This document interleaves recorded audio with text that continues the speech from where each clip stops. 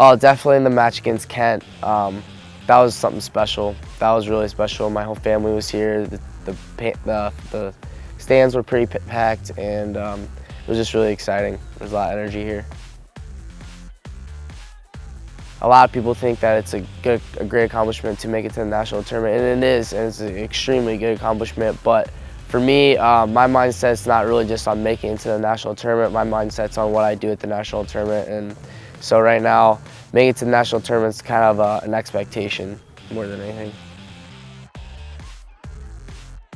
I think it's I think it's fun. I mean, I um, being so young, like people people kind of underestimate me. I think a little bit, and um, so I'm I'm young and new, and a lot of people haven't really wrestled me before since I'm new to the scene in college. So I think I have honestly an advantage more than anything.